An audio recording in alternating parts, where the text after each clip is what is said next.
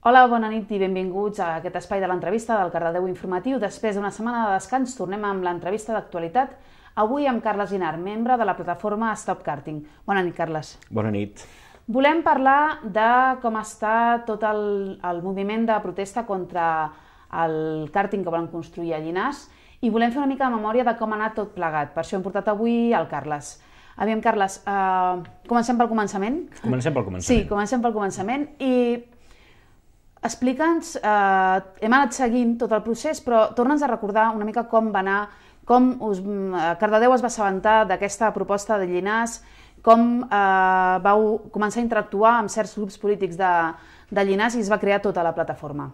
Bé, si comencem pel començament, hem de situar el tema que la Secretaria General d'Esports en un determinat moment va decidir que calia promoure una sèrie de centres de tecnificació de diferents esports, de vela, d'hípica, i un d'ells era un circuit de motor.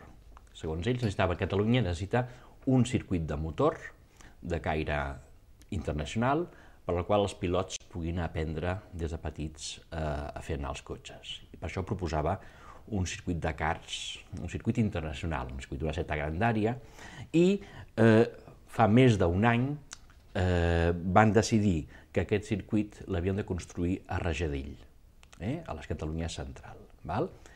Quan van intentar, mitjançant la Federació d'Automobilisme de Catalunya, eh, ubicar-ho a Rajadell, la gent d'allà, d'aquelles comarques, eh, van protestar i van aconseguir aturar el projecte.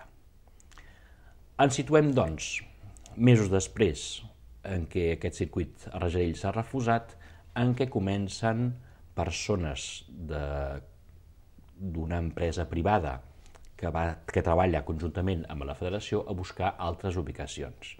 I és quan comencen, a partir del març, abril, a donar veus per aquests municipis del Vallès Oriental.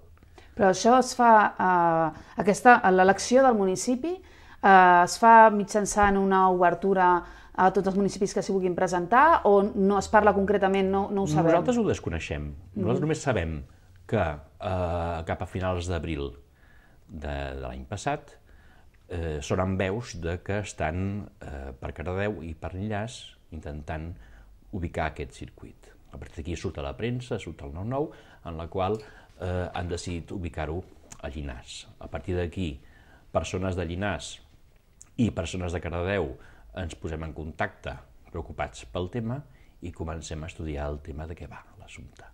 Eh? i és quan fem la plataforma Stop Karting. Perquè què us trobeu? Quan comenceu a investigar una mica què suposarà aquest circuit de motor, eh, què, què us Clar, trobeu? quan ens adonem que és un circuit de quasi 13 hectàrees, de quasi 13 camps de futbol de grandària, per tant és una cosa molt grossa, és un circuit que el lloc on el volen ubicar és una zona no urbanitzable i amb l'agravant pels de Cardedeu, que és una zona no urbanitzable que és veïna dels barris de Cardedeu, del barri de la Granada sobretot.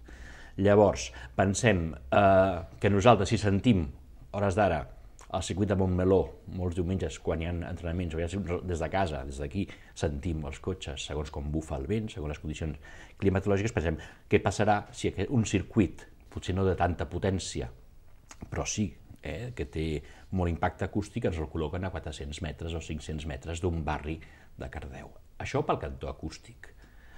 Però també té un altre vessant a nivell urbanístic ens volen col·locar al circuit en una de les poques zones lliures que hi ha de separació entre Llinars i Cardedeu.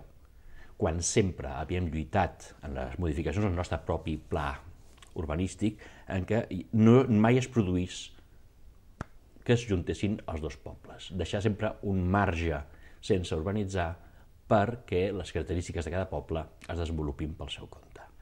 Aquest projecte de realitzar-se seria el primer puntal perquè els municipis s'anessin enganxant.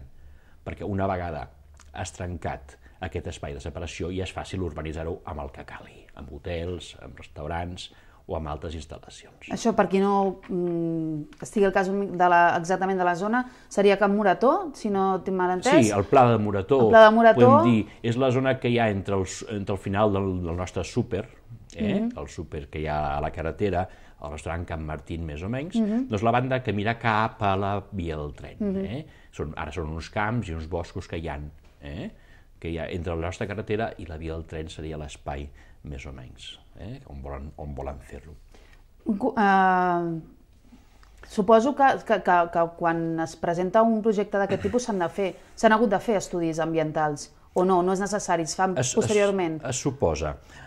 Realment Catalunya s'ha dotat d'una sèrie de, de lleis molt importants i molt modernes respecte a la importància i a la necessitat de mesurar l'impacte ambiental dels diferents projectes i aquest, aquesta xarxa de tecnificació que vol fer la Secretaria General d'Esports, curiosament, no ha seguit aquest camí.